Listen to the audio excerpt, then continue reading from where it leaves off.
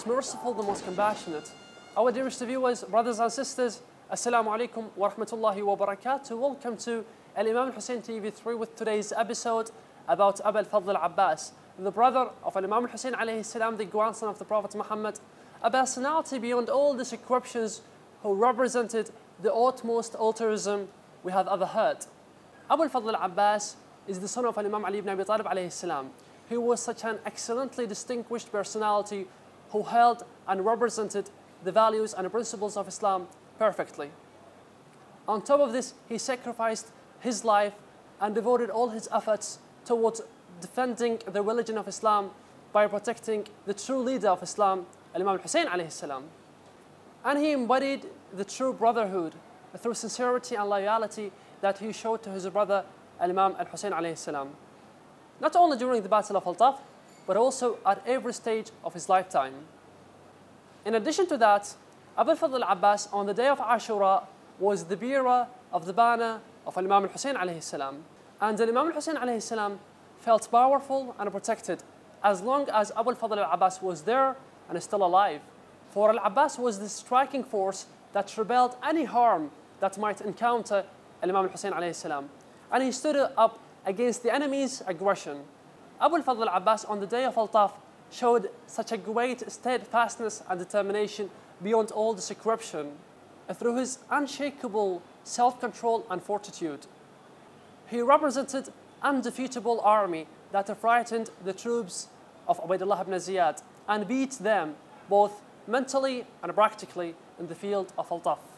Imam Hussein alayhi salam in 61 after Hijrah corresponding to 680 AD, began his greatest revolution, through which he illustrated the Book of Allah both ideologically and practically, and made it a lesson for aspiring brilliant minds. And he was able to demolish the fortresses of injustice and castles of tyranny. And the Battle of Al-Taf proved to be the everlasting movement led by Imam al-Hussein and his kinsmen and presented to the world characters proved that the numerical superiority doesn't count when it comes to the truth and falsehood. And that legendary event of Karbala is the most significant international event, and one could say even it's the most unprecedented and remarkable achievement of all humanity when it comes to the struggle against injustice and tyranny.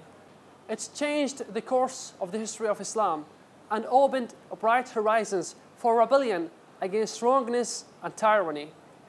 When Imam Hussein alayhi salam, with his family and his loyal supporters, reached Karbala, none of them were permitted to gain access to the water of the Euphrates River, which was found in a short distance from their camp, because it was fully controlled by the army of Ibn Ziyad. Thus, the family of Imam Hussein alayhi salam was extremely thirsty.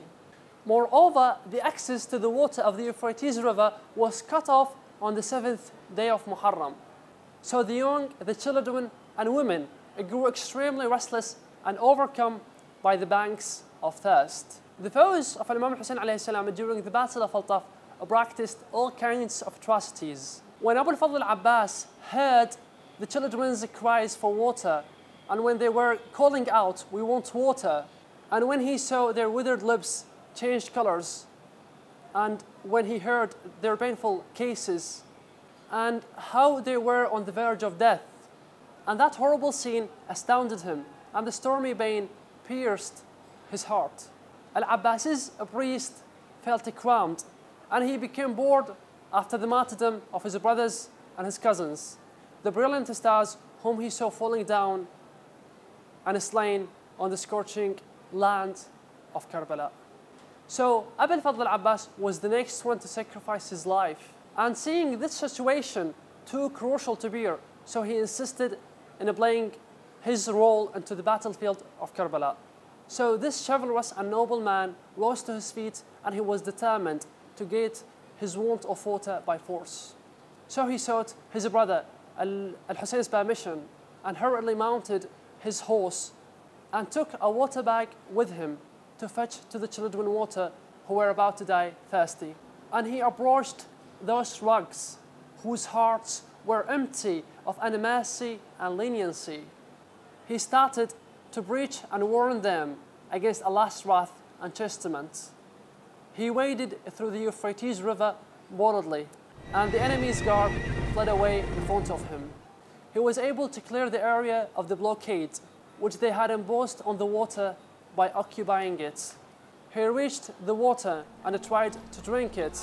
But as soon as he remembered the deadly thirst of the children and the women, those who were with him, he spattered the water from his hand and prevented himself from drinking for the sake of consoling them in their current misfortune. That state of altruism, which surpassed the limits of time and place, was the remarkable merits among the distinguished features of Abu al-Fadl's private qualities. Hence, Abu al-Fadl Abbas was given the title of As-Saqa, the water bearer.